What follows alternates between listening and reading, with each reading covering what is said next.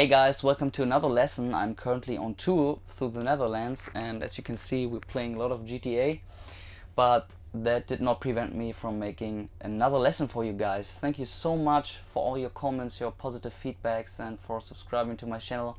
I really appreciate it. So today I decided to make a lesson about important R&B neo soul guitar chords so let's start with the lesson and the first chord I want to show you is the minor 11 chord which sounds like this. And I really like that chord because it has a really open sound, sounds really modern. Um, I'm actually tuned a half step down so it's a A flat minor 11 chord. So that's your normal minor 7 chord.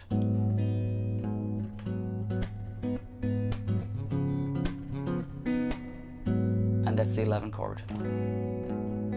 And you play like that, you play in the 5th fret on the E string, low E string, 5th fret on the D string, 5th fret on the G string, and then you play your 11s on the 3rd fret.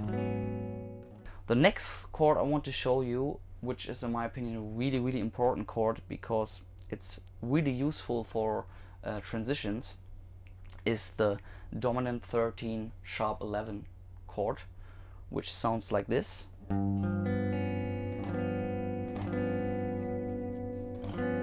So you can play something like that if you have a 251 to G major.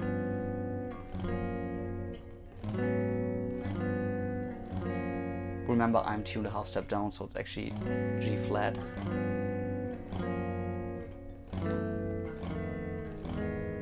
So before I show you the chord let me um, tell you something about the theory behind the chord. Um, there's something in jazz called the tritone substitution. So the tritone is that interval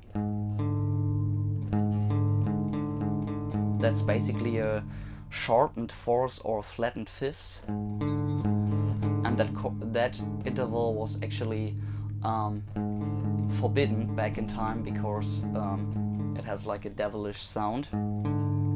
And every time when you have a dominant 7 chord, you can play another dominant uh, another dominant chord on the tritone. So that's called a tritone substitution. So for example, if you have a 251 to E, to e minor, you can play instead of the B dominant, you can play a F dominant. So something like this.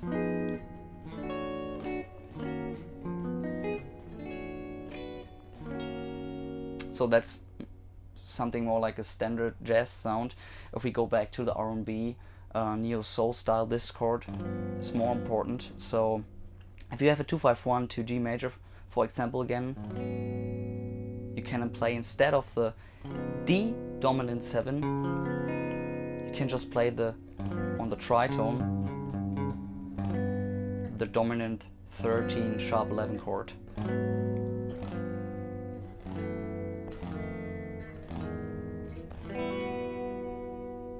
So you play the chord like that.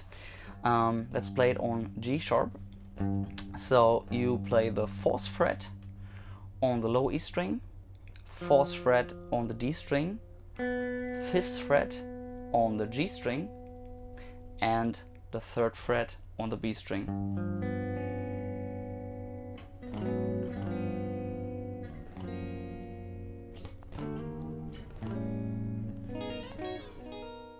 Last tip for today, a scale that works really nice over the dominant 13 sharp 11s chord is the Lydian dominant scale.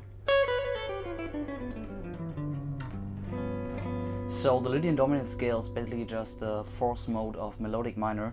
So if you have a G sharp dominant 13 sharp 11 chord, you play D sharp melodic minor.